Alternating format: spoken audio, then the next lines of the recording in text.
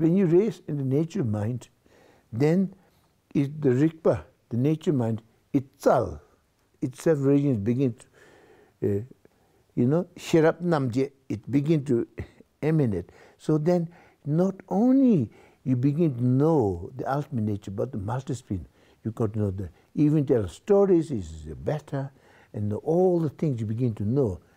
I mean, in the, in the case of Nyoshul Khen Rinpoche, I remember one master called Chandrinpoche, they studied together.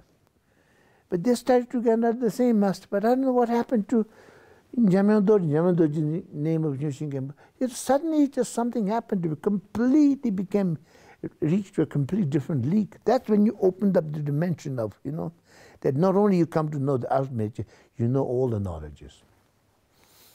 That's wisdom. So that complete the six paramitas in a complete way.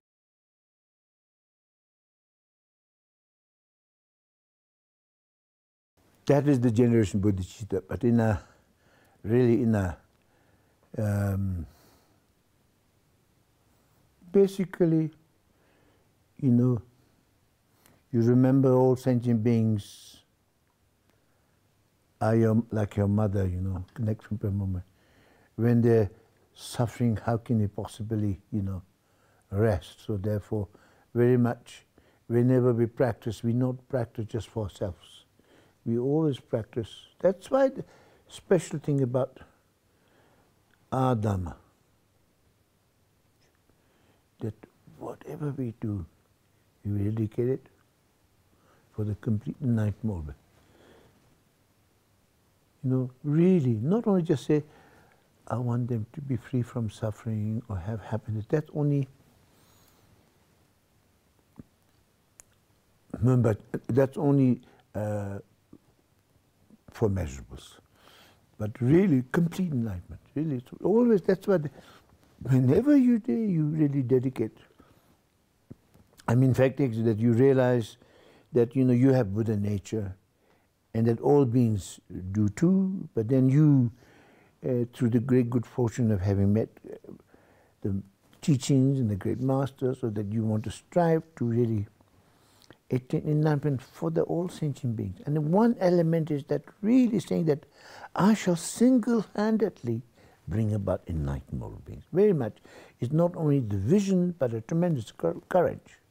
But the thing is that when, I mean, difficult somewhere in a practical thing, how can you bring about the enlightenment all beings. But when you start thinking in this way, then your courage and vision begin to increase. Then you begin to be big, big things. So the motivation and the asana bodhicitta is extremely important. And really wishing that whatever you do, practice you do, you dedicate. Whatever good things you do, you put the dedicate to the ultimate enlightenment of all beings.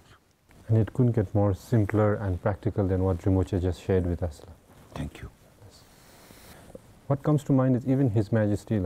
He shares with us uh, every time he's meeting the graduates or in any gathering, he tells the people that it is one thing to love your country, but to love your country intelligently. His Majesty is very extraordinary, his vision, and I feel so moved that he's always so, he's got a tremendous energy and he's really, I mean, he travels all the country and see people, talk to them, listen to their needs. I mean, what more compassion loving than this is? And thank you, know, I really feel he's like a gradually he's going to be a great Chuchi Gyalpo.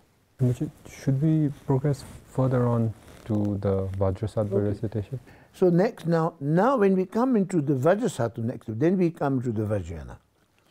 Traditionally, you receive an empowerment of Vajrasattva at the beginning. Empowerment, one, Abhisheka, then you. Now the Vajrasattva, then you see, after having generated bodhicitta, then you realize that, well, basically, you need to purify. I mean, if you want to have to bring the night more means, you need to first purify your your digpa jibba, obscuration. You need to purify. And then you accumulate merit and wisdom. So purifying your all negative karma is is the Vajrasattva, Dorsam Jibja. and accumulating merit wisdom is actually Manzafra. In fact, actually, this can be connected with what's called the four dharmas of Gambopa.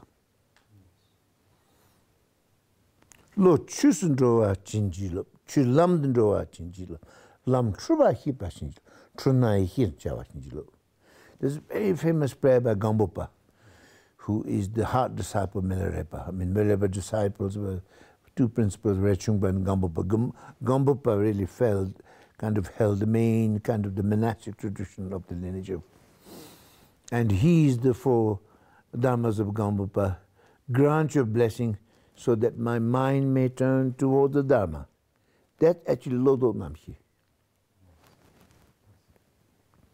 Grant your blessings. Lo chusundrova, chu lamdendrova, lo lam chu lamdendrova. Grant your blessing so the Dharma may progress along the path, or Dharma may become successful in my life. Is actually taking refuge and generous bodhicitta grant your blessing so that path and may clarify confusion.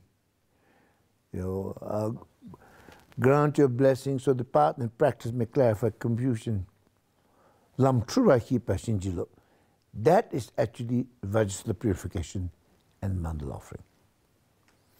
And finally, grant your blessings so that confusion may dawn to wisdom.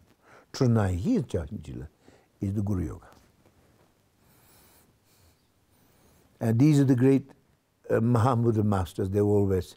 In fact, something incredible about Dzogchen in the, at the Mahamudra, the, many great masters, they teach them in like a union of, in fact, there's a wonderful saying from Longzhin Dungwandro in the Dakini practice of Yumka Desen Jamo, in the lineage process, you know, it says, Chaozu ye mehin kandrusha, the union of Mahamudra Dzogpa Chenpo is the actual face of the Dakini. It's very beautiful. And so, that very much like that. So that you see, to purify all our negative karma, destructive emotions really is the practice. We need dibhaja to purify ourselves. And so the, hence the practice of Vajrasattva. Now in order to do this dibhaja, we need four powers.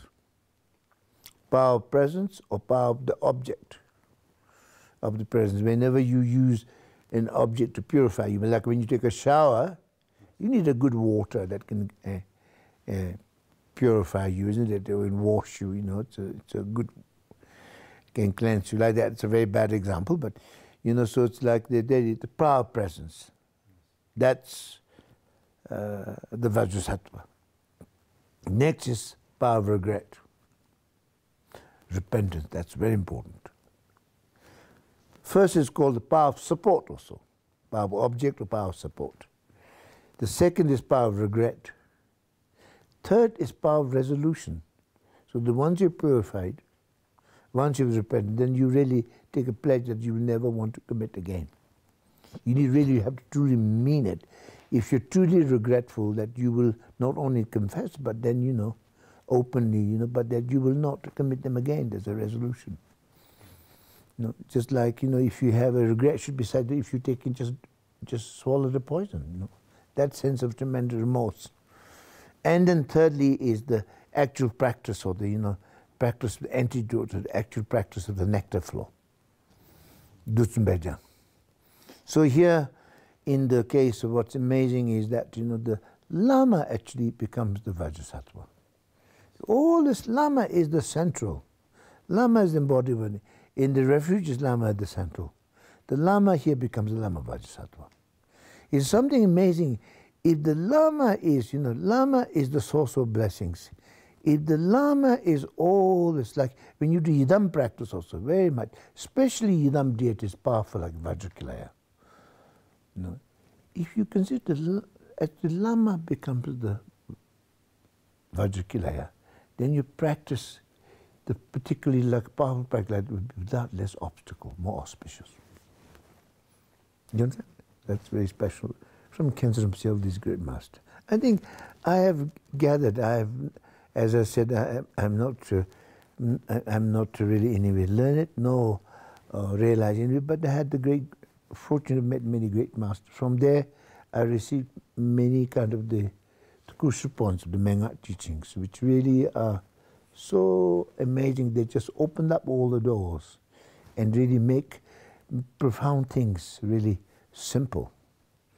And because I needed that, I needed that very much, and I kind of was very interested in that. So I needed that, and it was very helpful, and it was so joyful to discover that. So when I share these things enthusiastically like this, I think people really help them. They, uh, so it's really, I think, wonderful thing. Greatest, greatest joy and honor is to teach the Dharma. Really, it's so wonderful. Really, it's such an honor, it's such a privilege, and so fortunate. That's why when you even share teaching like that, we gain tremendous merit, tremendous power, and we dedicate for the ultimate enlightenment of beings, and then we can dedicate for the world peace, especially conflict like in in the Ukraine the struggle, as well as all the ISIS and all these are pretty dangerous, pretty volatile.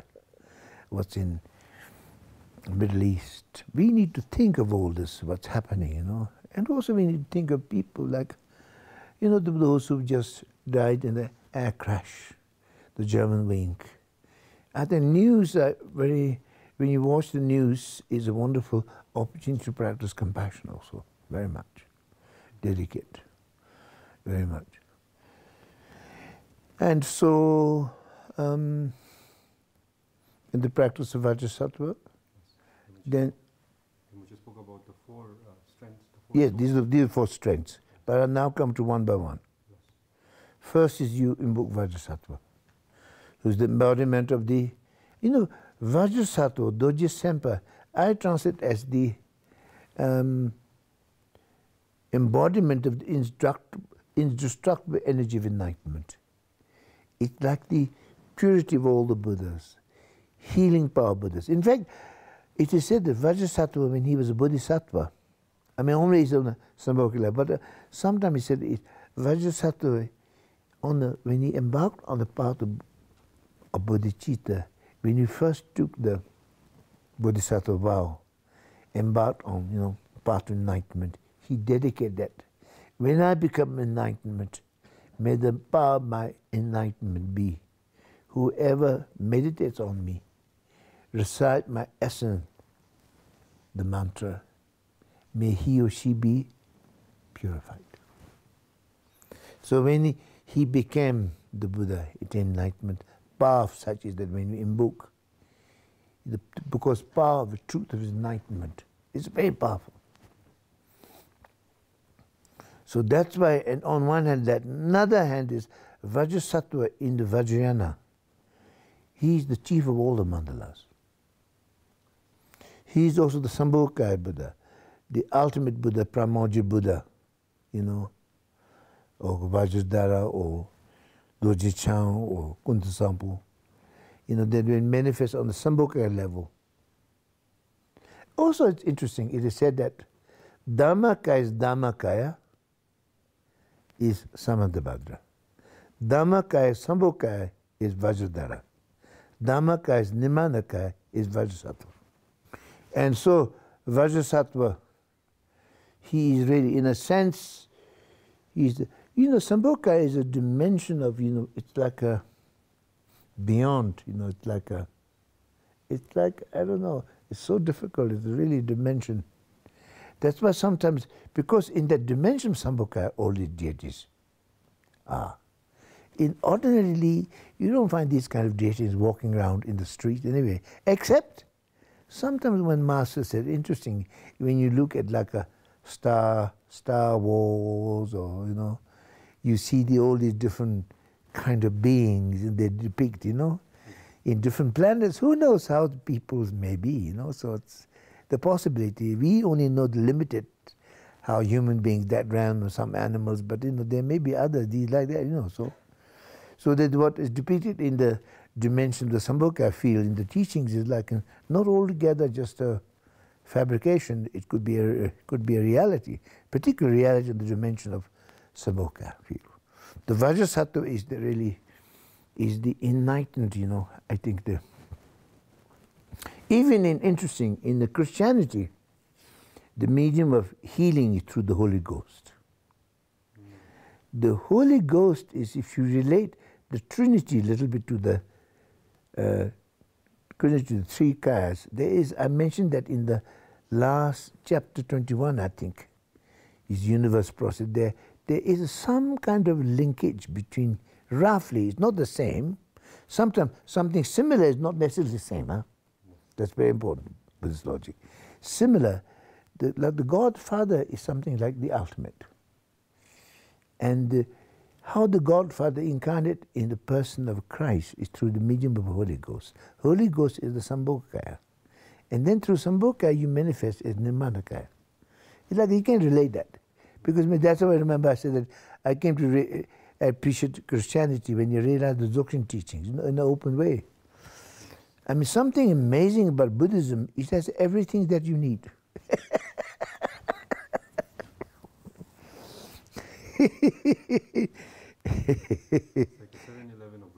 Uh, yeah, and for example, like if you, if you, you know, on the ultimate level, there is no God in Buddhism, but at the same time, if you need a God or deity a little bit because of ordinary level, well, there is many deities there.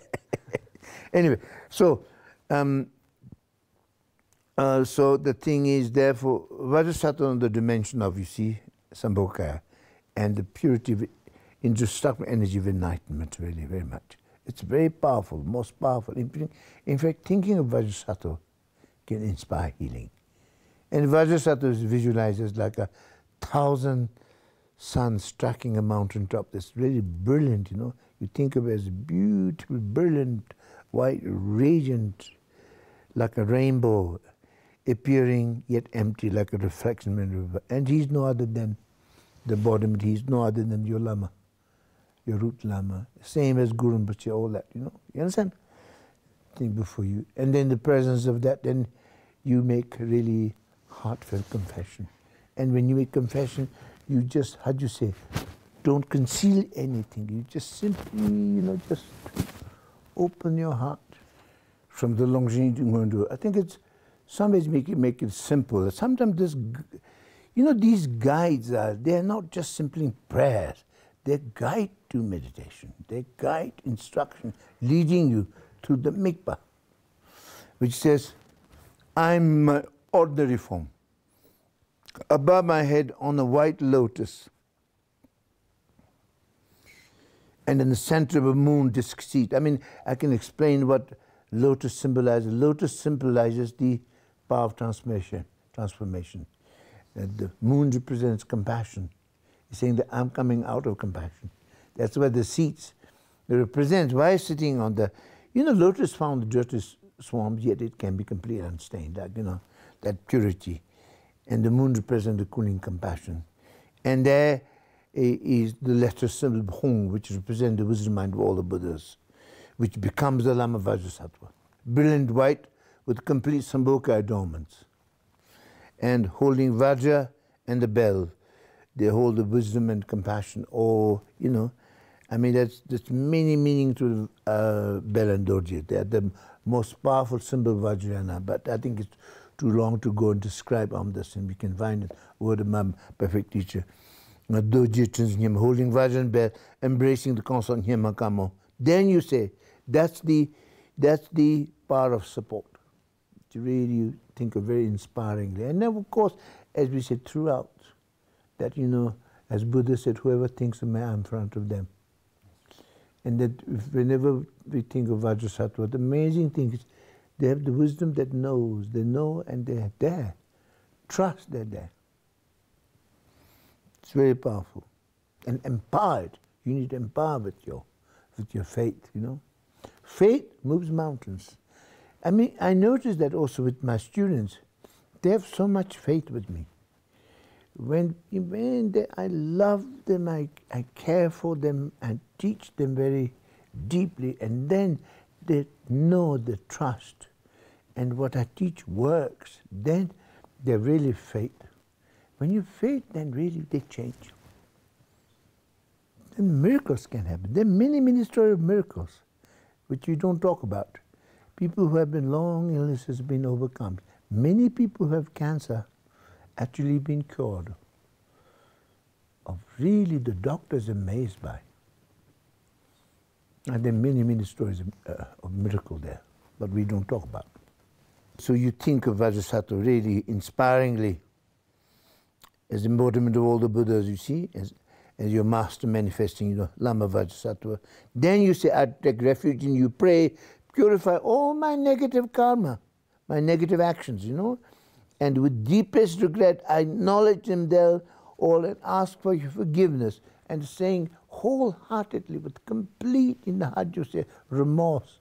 You know, it's like someone who's just drunk poison, then, you know, has such remorse. And has to be open, not concealing anything. Sometimes you can say, all the things that I've done, knowingly or unknowingly, all of them I confess.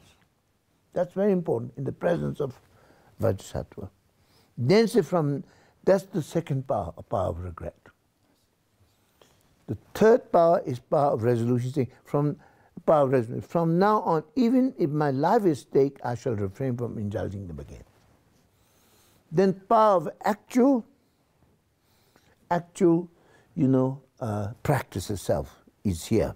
Now, of course, the power of regret, the power of resolution comes after the power of regret, but also you can do at the end of the when the purification is effected. Then you say, I shall now have been purified, I shall never refrain them again. You make the resolution also there.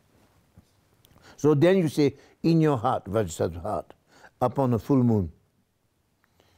Vajrasattva's body is like a rainbow body, not like our kind of body with liver, and lung, all this, mean, just like a rainbow body, you know. And then in your heart, upon a full moon, is letter Hum, which represent the wisdom and around that the mantra mala om banzo sato samaya man pala yam banzo sato tenu batiran dedu meba sutu kayo meba supo chayo meba anarata meba sarva sutu meba rita sawa kama sutami sutami kyan kurung ha ha ha ha ho banga venda sawa ta dangat banzo mame manzo banzo bama samaya sato written as if you know uh, with a single hair you know you know, and the written is in a, in a, put in an anti-clockwise way, making a complete sentence, written by a single hair, like a mala. But when he moves, then he moves clockwise. Do you understand? With the Om taking the lead. So therefore, uh, is letter home encircled by the mantra. Reciting the mantra invokes your wisdom mind, wisdom mind of you know, the compassion, and then the, and then from the, you know, from the point of union blissful yabum, cloud of bodhicitta nectar, because what comes out from them is uh, flow bodhicitta, flow down like a shining milk through this.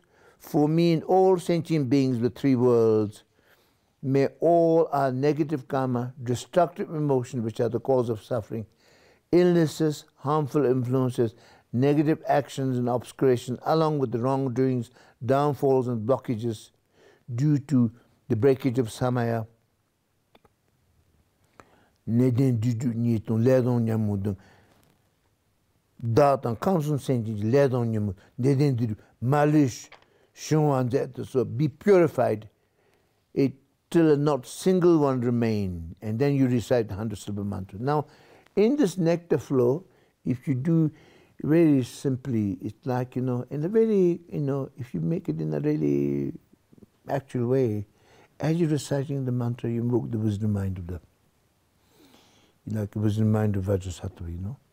And first, uh, as you invoke the compassion is aroused, wisdom mind is invoked, and slowly from the home, nectar begins to slowly sweat and begin to drip, and all the mantra begin to catch and then begin to drip, drip. If you do more gradually, dramatically drip, and they fill the body of the, this uh, Vajrasattva Yabum is completely filled, and then it overflows from the point of union and comes through your fontanelle here and comes down and then in it goes. And I normally teach this way which is very helpful. First nectar flow is like really washing away all your illnesses in the form of pus, bad blood and tumors. They've been a lot of students doing this practice really been helped to overcome cancer. Many other, really. But sometimes it depends on your layer. Some get completely purified. Others, you know, uh, they get remission. But I think there was one student who was really had a very, very serious uh, abdominal cancer. The doctors actually give up on it. But through change of life and through Vajrasattva and through actually faith in the teachings and the master, they really, according, now he's traveling around actually teaching the method of uh, healing. And as the first nectar flow really purifies, wash away all your illness in the form of pus and bad blood. You understand? Yes. And, and tumors and all kinds of viruses are washed away. You know, and so that then at the end of the the, the earth opens up, the Lord of Yama, the death, mm, Lord of death, and opens up its mouth with all the coming debtors. They want all your, you know, they want you uh, they want you so that you give them, repay your karmic debt, and then, and that all this nectar, you know, this all that flows, purify, all this goes into the mouth of the Lord of Death, and then he's satisfied, karmic debt are repaid, and he closes mouth, and then earth closes. And my master Jamyang Khyentse used to say, when you do that practice, it's also a practice of chilu, averting death. Mm. And like sometimes you may have untimely death or obstacles, you can avert them. It's also like a long life practice. It's amazing. And so, and the first nectar flow is purified. Then illness in the form of past bad blood. And then then like the negative influence in the form of spider or scorpions and all that comes out. And then your delusion and all your, you know, for example, endless harmful influences and negative actions and obscuration come in the form of like soot. You know soot, S-O-O-T, soot and others, no, soot comes up. They all go purified. Purified. Now the second nectar flow, in terms of healing, is restoring all the imbalances, bringing like almost like the nectar of long life comes into you, heals you, imbalances, it really heals you. First purifies you, get rid of your illness. Second heals you. And restoring, for example, the cancer is like a certain genes that are bad, then that could be the cause of like these things.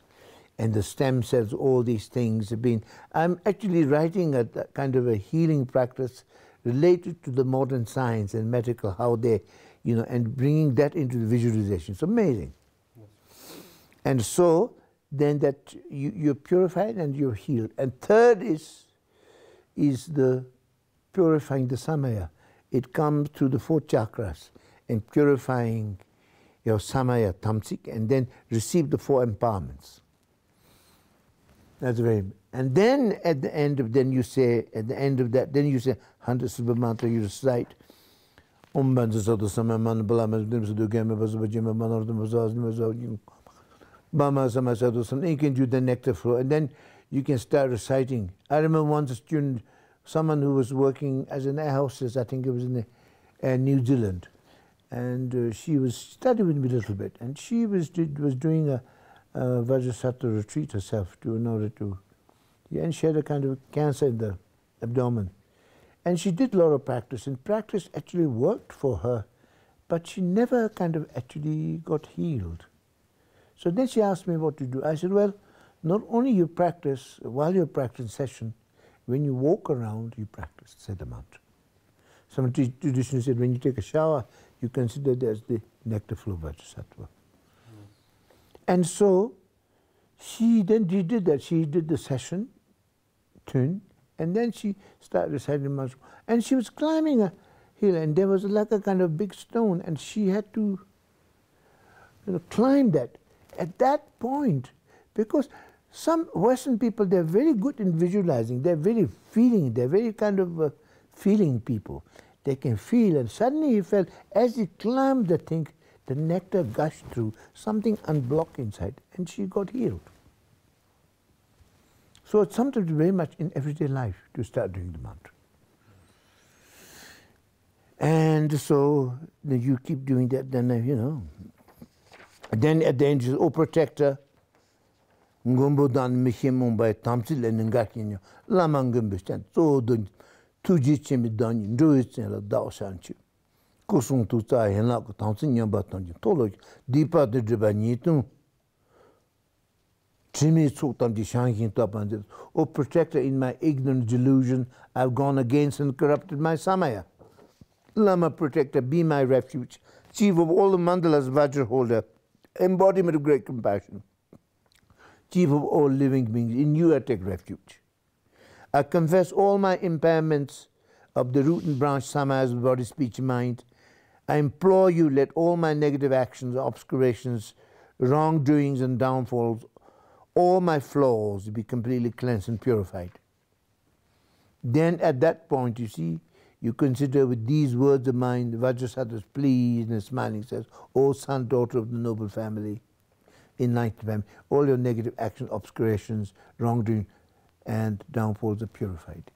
She jebe doji samba, jigin samba to jebe, richi poshi diri nyu tonji tapa yinu, she nawa shiki ötti kini rana timbi chende, rani chu doji samba, nōng tō mē nōng kī zū nye tāpa chibi, tū sō hōng kī tā mā yī gīn rī gyōba sāwa lī, ō zhīn chī, kāng sō nē chū tō chī pā tam chī, dō sōn rīngi tēn nōng tēn bī, rāng gīn tō sōng chī pā chī, ōng bān chā sā tō mē sō. So you see, Vajra Sattva, smiling, he forgives you, saying all your, all your, you see, negative action, obscurings, and wrongdoings and downfalls are purified. When you do it really wholeheartedly, with the power of, you know, the nectar for Vajrasattva, really that's power to purify. Then, then Vajrasattva really says to you, now you're purified, you know, smiling. And that sometimes is very powerful to have, to have that sense of I remember long ago a, a student of mine who's, who's been a lot of ill in Australia who has now started a healing center. He's quite well known in doing healing work, overcoming cancer. He, I think, went to see, I think, um, Sai Baba or some great Hindu master. And when you see that, you know, the master said, now you're healed, he said to him, such a way, that completely changed him. So it's like when you hear Bodhisattva saying to you, you're now healed, purified, then that gives you such confidence. And you, it's actually, everything is the mind, you know. Yes. Mind is really the forerunner of everything. There's so much research that being have come but shows that it's all about mind. There are also many quite extraordinary cases of two women in China, I think, uh, one had cancer, the other didn't have. The result came the wrong way. So the person who had cancer was told she had no cancer and she got healed. Person didn't have the cancer was told she had cancer. she died of cancer. It's really quite extraordinary. And also research has shown that when you pray for people, like in the hospitals, a section people, of course, they do not know, but section of the people who are ill, you pray for them. Doesn't matter, Buddhist, Hindu, Jewish, you know, uh, Christian prayers when they're done. You know, those who are prayed for, they make, they take to treatment much better, and they, they take to, uh, and they heal better. Really, kind of powerful prayer. And so, much to consider yourself as smiling, you're, you're purified. And at that point, you know, granting his forgiveness, he melts into light and then becomes one with you. And then you become Vajrasattva, appearing yet empty like a reflection of mantra. And at your heart is the, the mantra mala, the Om Vajrasattva Hum. Appearing yet empty like a reflection. At your heart is a Hong around which four brilliantly radiant syllable Om Vajra Sato Hong. You know, Sanskrit way of pronouncing the mantra and the Tibetan way of pronouncing also.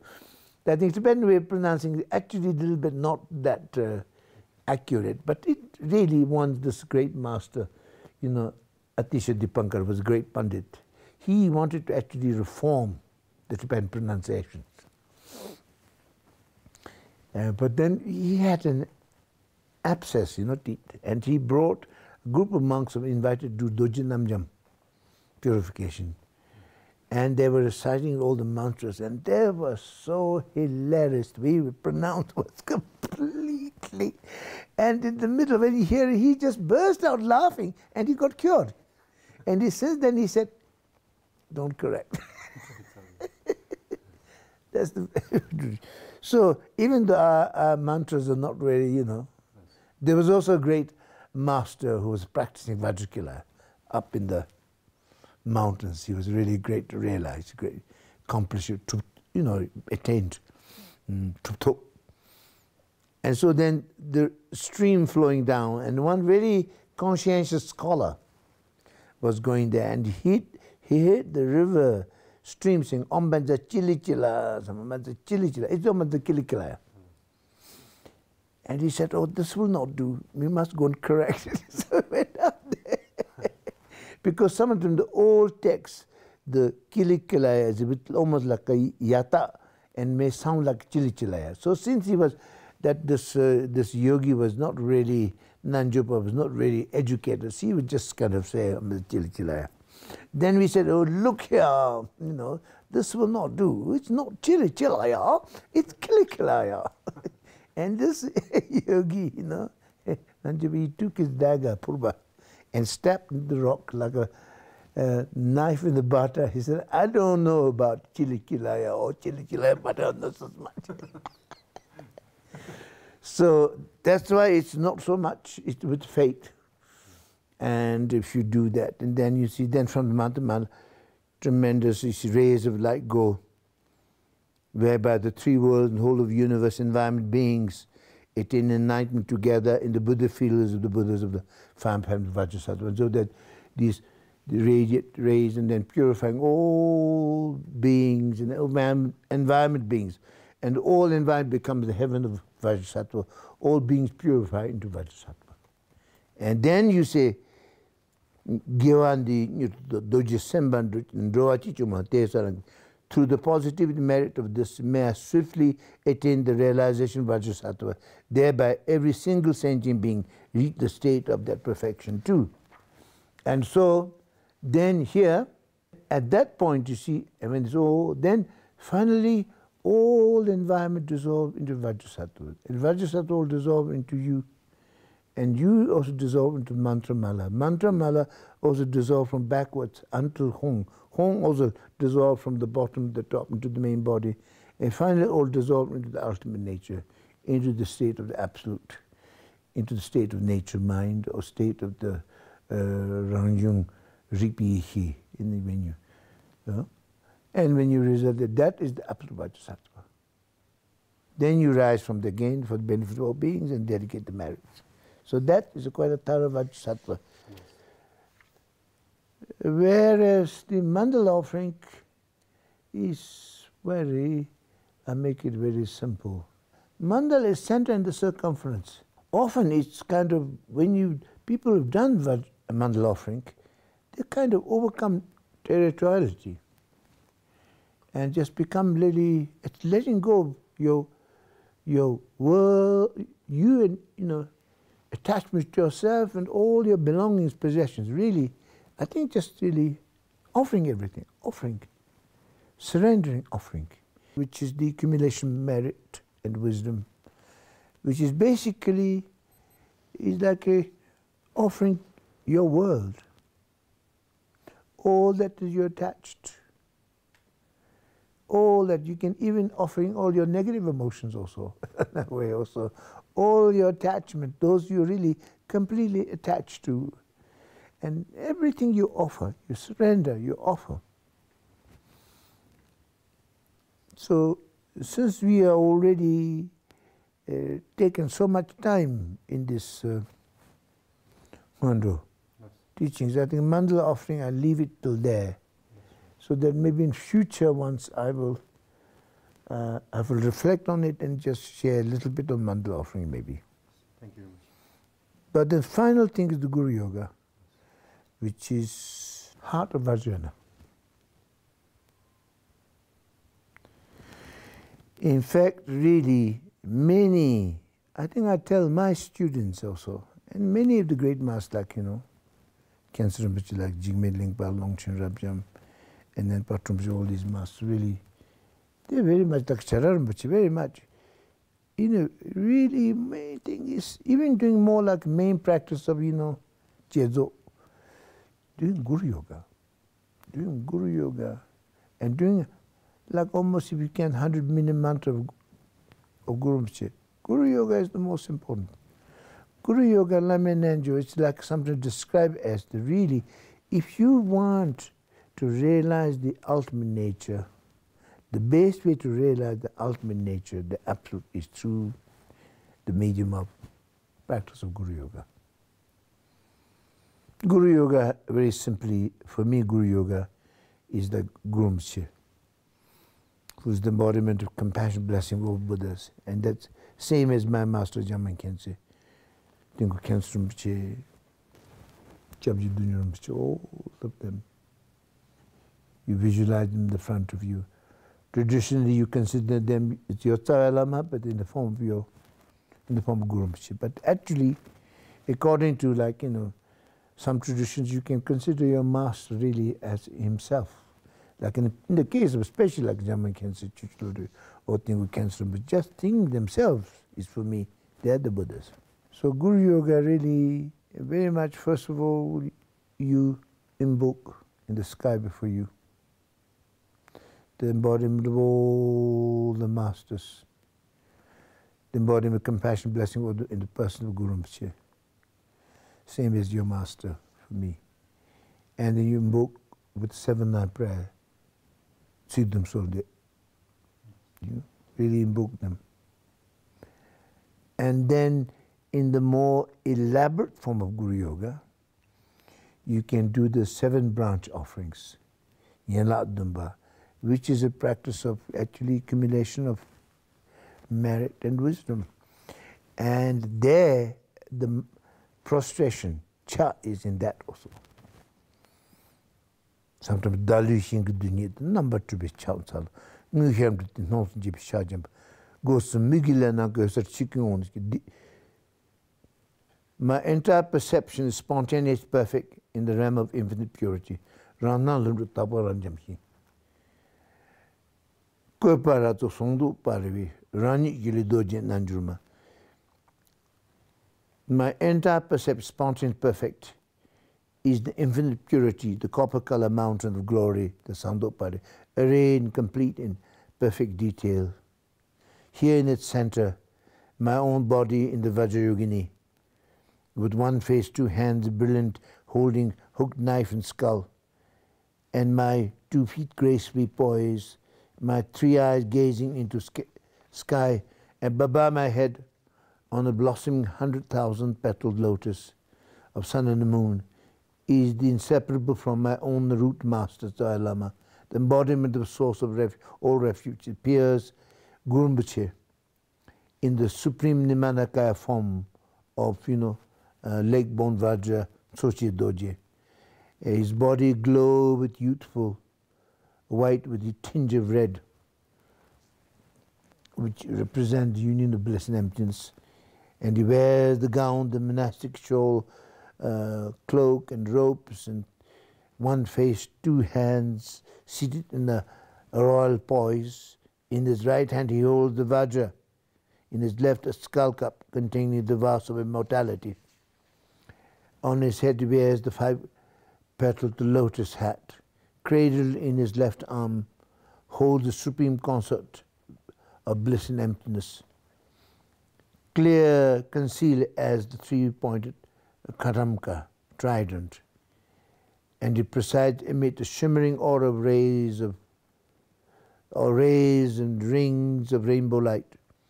Around him, enveloped in a beautiful lace, lattice, white, blue, yellow, red, and green light, are the king Trisong Detsen, uh, and also, you know, like 25 disciples, Jamunyanga, all the Pandit Siddhas and the Vidyadharas of India and, and Tibet and the Dham deities, and all the Dakinis, Dharmapalas, protectors who keep the Samaya, all gather like blowing clouds, visualized vivid, distinct in the great equality of clarity and emptiness. So very much you see, you visualize in the sky before you.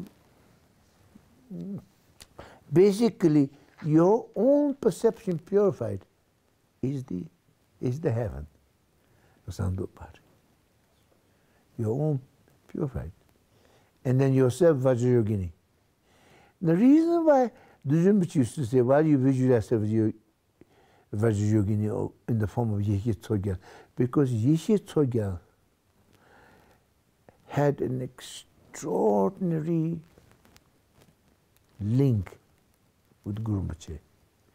Yeshe Tsogyal is in fact Guru Rinpoche's supreme disciple. And the power of her devotion, you look into the life of Yeshe Tsogyal, so inspiring. I think for women, you know, I think it's very important to know that Guru Rinpoche's main lineage holder is Yeshe Tsogyal.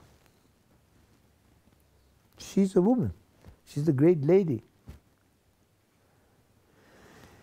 And she has an extraordinary, you know, uh, devotion, and she is a perfect disciple. And because she had such a devotion and, you know, such extraordinary karmic link and connect Guru Rinpoche, so that you visualize with Guru Rinpoche is like, may I be as close to Guru Rinpoche as It's creating the template. Secret intimacy. Huh? Secret intimacy that exists. Or secret intimacy or that, that they're close heart or, you know, that connection. Template.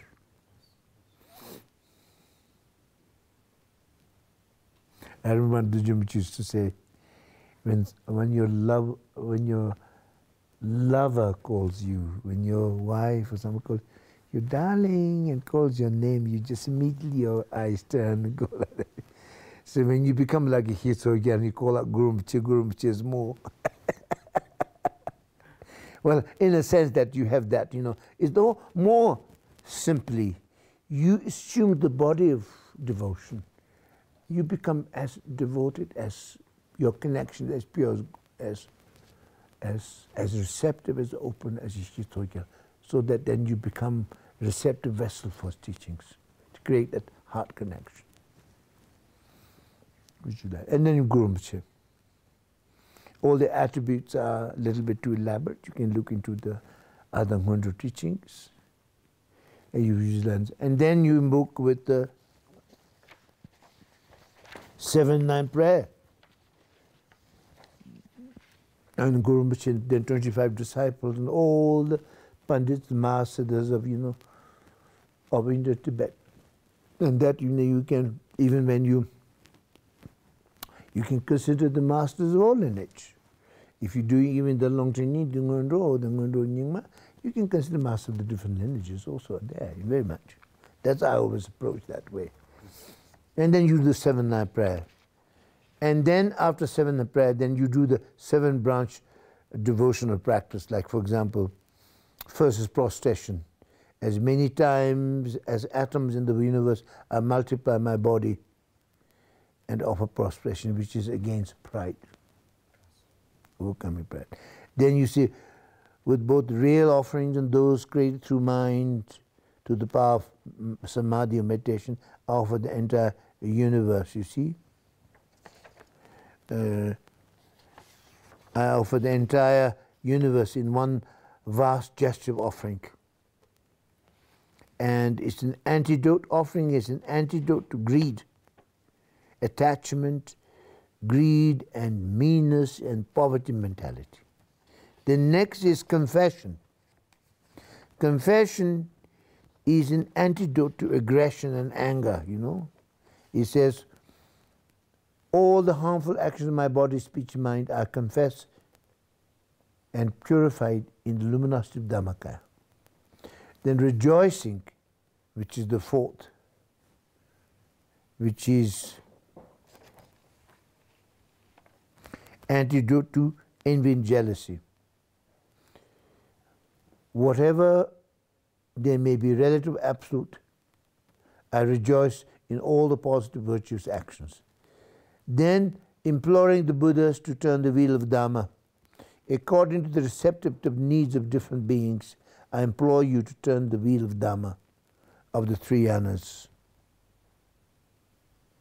which is antidote to ignorance. And next is requesting Buddhas and teachers to remain, you know, in the world, not really feel, you know, disillusioned and retire into nirvana. It's like antidote to wrong views. And finally, dedication is antidote to uncertainty or doubts. These are all, these seven branches can be related to the overcoming of these different uh, negative emotions. So you say,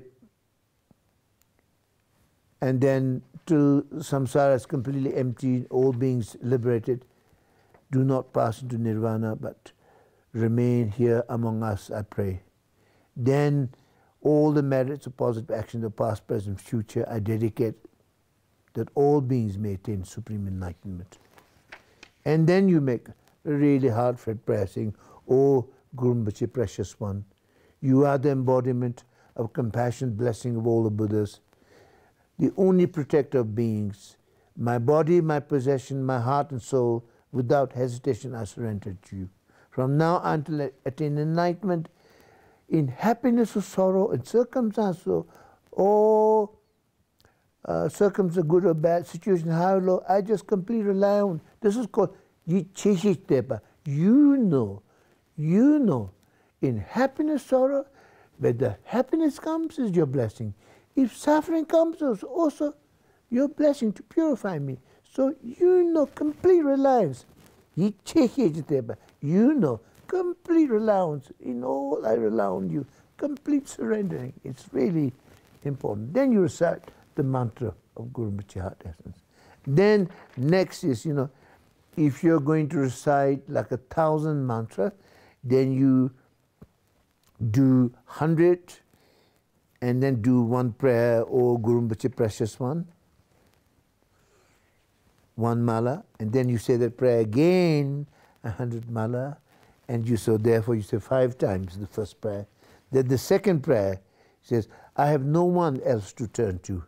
In these evil times, the beings of a Kali Yuga, sinking in a swamp of intense and unbearable suffering, free us from this, O Guru.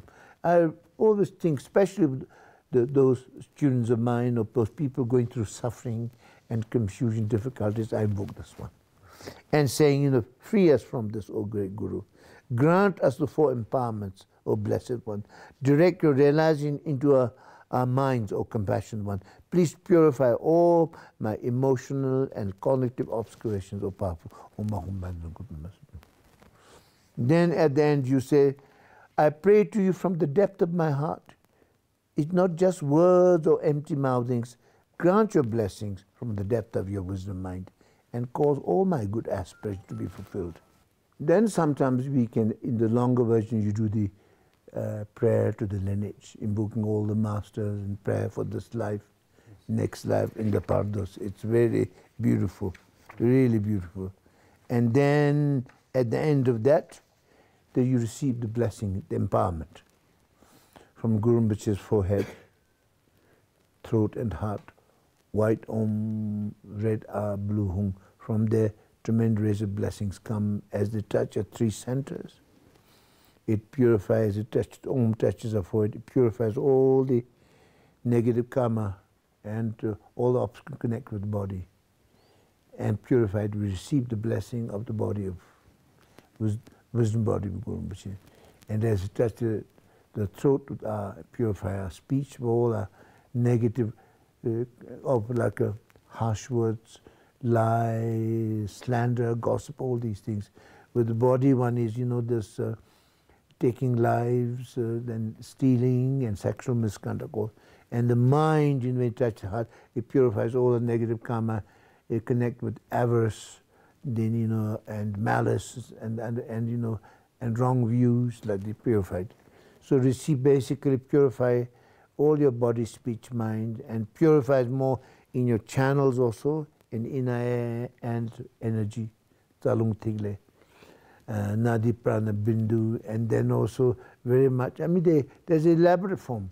You can look into the Tibetan Book of Living Dying in the Guru Yoga section, and then you can just quote a little bit from that if you like, in order to, you know, make it a little bit more. You know, just you can improvise that. You know, and to make it a little bit more clear so that the the the as the Hong touches it, purifies all the uh, impurities of your mind, and then you know, and then you receive the blessing, wisdom mind of Guru Rinpoche. Basically, your body is purified, speech, mind is purified, and you receive the blessing Vajra body, Vajra speech, Vajra mind of Guru Rinpoche. And that's really, and then that's also receiving the empowerment is also purifying your samaya. Receiving, doing the empowerment every day is purifying your samaya, connection. Tamsik, yeah, very much. And so at the end of that, then Lama dissolve into light, become one with you. Then recognize your ultimate nature mind, the state of Rigpa as the Absolute Lama. There is, in the Longchen Nyingtik, uh, there's a beautiful, simple, which is something like a phowa also. There's also prayer for actually for next life when you die, you know. It says, when my life is in an end, with my entire perception, you know, becomes a heaven of Guru Rinpoche.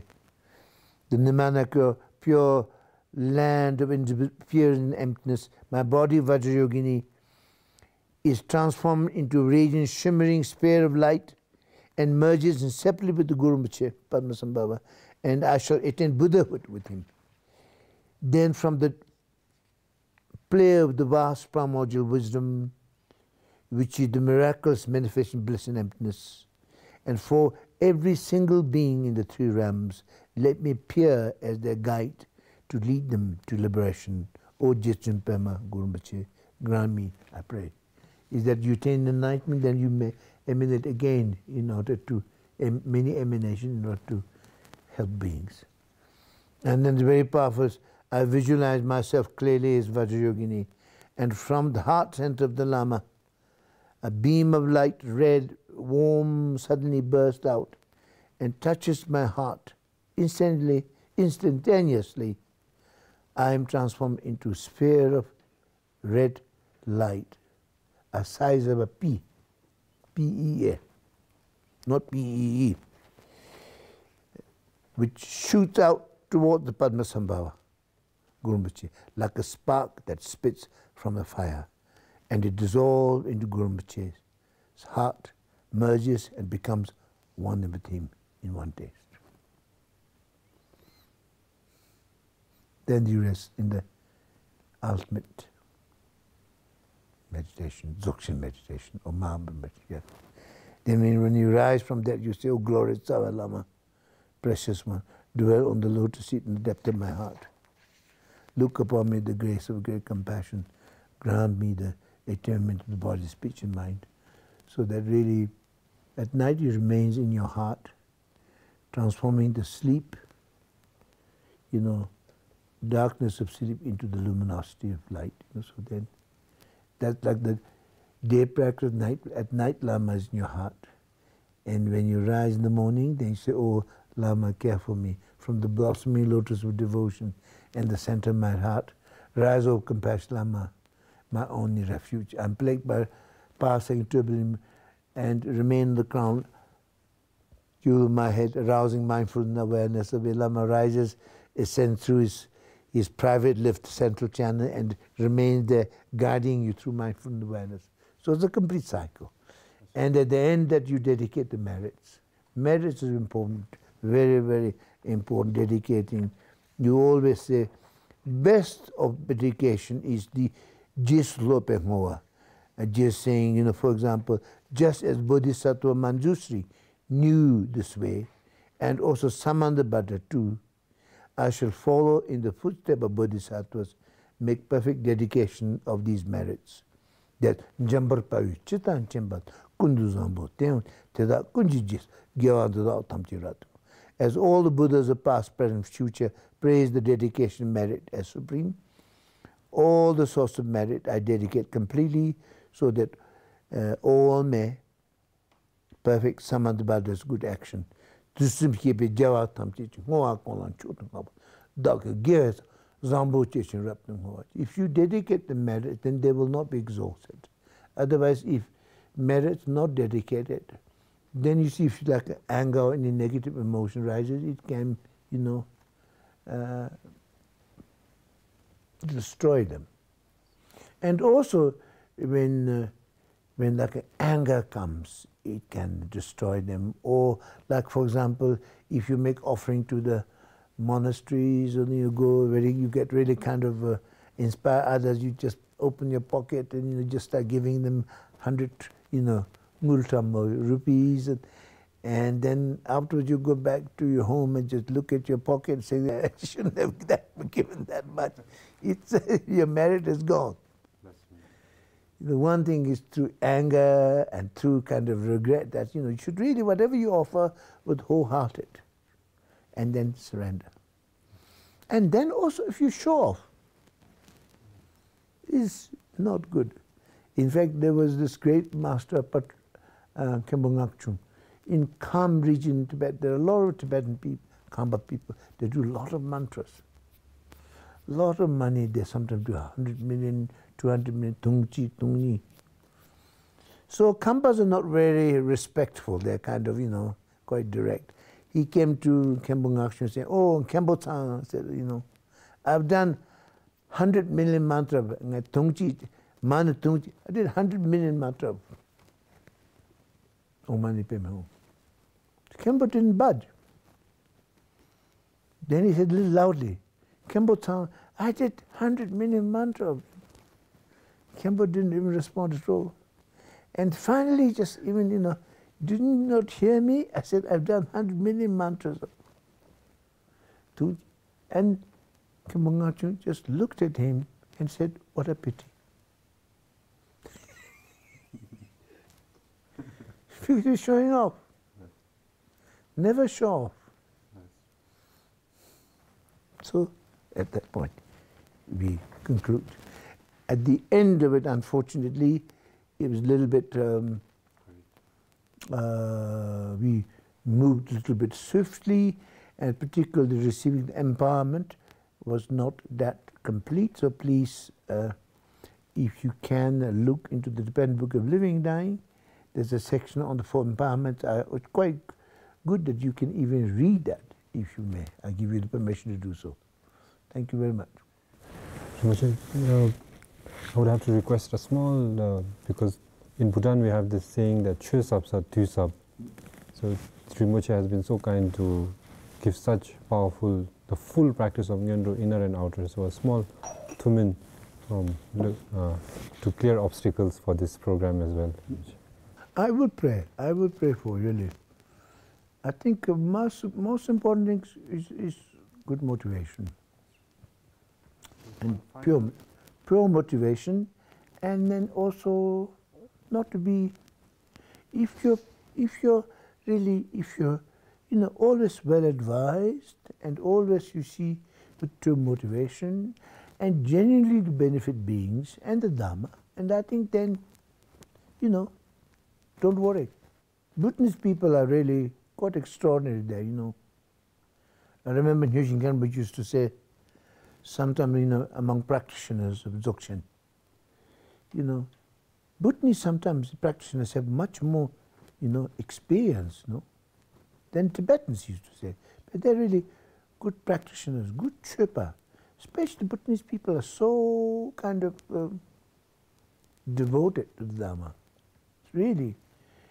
And then the young also have a true enthusiasm of Dharma.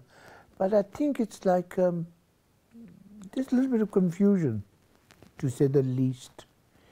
And that I think uh, uh, we need to really explain.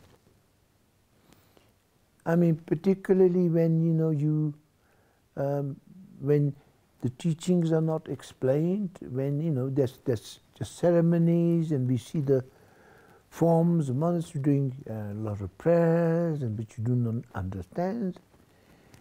And when the teachings are traditionally offered, uh, you don't, don't quite comprehend, and it don't reach to you, don't speak to you, then I think, you know, we, we turn away. Similarly, many of my friends, school friends also, when they really read my book, then they really find what Buddha Dhamma is, you know, really. Because I think we need to explain. We need to explain. To cut the story short, I think we need to explain. And so we need to explain about, for example, like even we do prayers, what do they mean? What the different deities mean, like Chenrezig, Jetsun all these things. So I mean, I've been coming to Bhutan now for a number of years, offering some teachings, but I feel in future I would like, if I may, and we should encourage all other masters also to really, all these questions and things that trouble and who they, uh, uh, you know, the youth have a problem with or they do not understand, we need to actually explain that in a simple way and really bring understanding. If you really bring understanding that the Buddha Dhamma is extraordinary, really, I've been everywhere and seen many things, but nowhere I find something greater than the Dhamma, really. I have made many religions also. Uh, they're all great, but I mean, so profound is the Buddha Dhamma. It's a pity if you, without not knowing the true value of the Dhamma, and you turn away, you know, follow something else. It's like, you know, if you, if you kind of go uh, kind of, how do you say, hungry and stuff, while you realize that below your, underneath your house, there's a whole treasury of wisdom, you know, treasury, you know, of wealth there. You know, it's such a pity. So I would encourage to be patient and to be more, have discussions and, you know, about to inquire and the questions that there are to ask for. And like programs for you too, that very much people can ask what they would like to know and to make systematic ways to really really to explain. Like if, if I were invited to come back to Bhutan and teach, if I do, I would like to really tackle these things, you know. On the hand about the issues of the practice, systematically I've been teaching on Ngondro, but other things, more practical things. At the same time, there are also many things like substance abuse, as well as people facing, uh, uh, like, for example, suicide tendencies because they become desperate and lose hope. And for that, really, we need to also deal with these things, really, uh, work with psychology and emotional problems of people. We need to really deal with that. And that's why, actually, I have developed a kind of a, uh, a kind of website which is called uh, Treasury Wisdom, which I might make it available here in Bhutan. Uh, and in that, there are a lot of it's an ongoing thing. It's not complete, but ongoing thing. There are also teachings on working with emotions, about relationships, all kinds of subjects. Bringing up children, education of children, all kinds of subjects about also uh, how to prevent suicide and you know how to help people who are, you know, and all these things, you know, also sometimes also about relationship, many things. I feel this, uh, we, youth need that. You need that something kind of they can tap into and find like a, some answers that can maybe at least keep them, you know. But then we need more human contact. It's not just the, that we need like the social work, you know.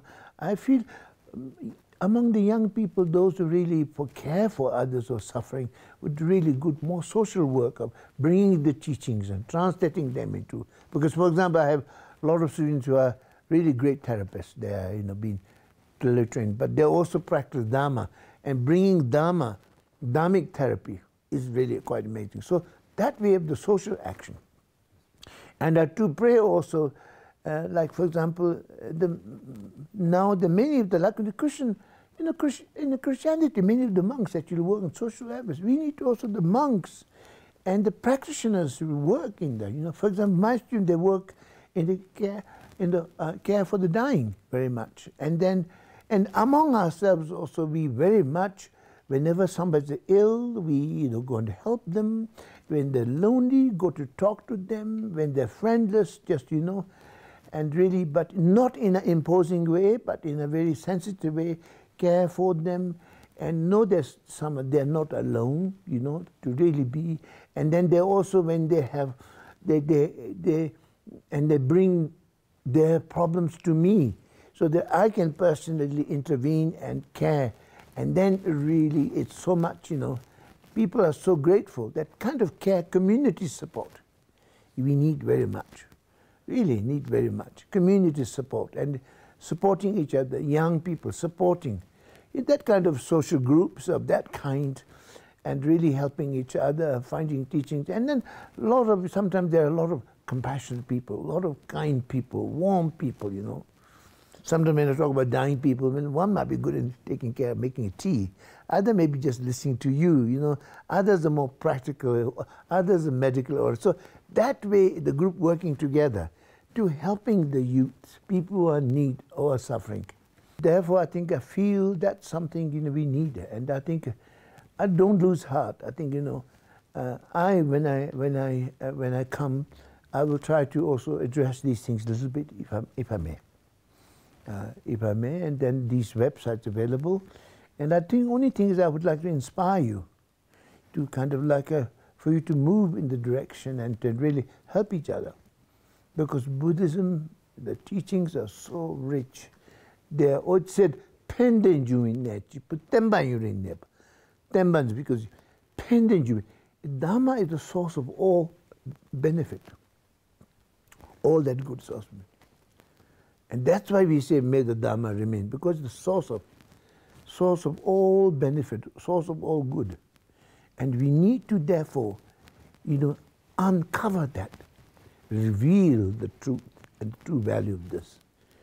And then, you know, it's, it's a pity you have that, and then if you go kind of, you know, ignore it or, you know, it's such a pity. That's my, I'm sorry I'm a little bit tired, so I'm not very eloquent, but I think that's my appeal very much, and that um, I will do whatever I can because I do love the country and the people who are wonderful, and I have many students, many, I mean, some few students, I have few students, but a lot of people, when they come to teaching, they show such enthusiasm, such devotion, such openness. I'm really moved by them.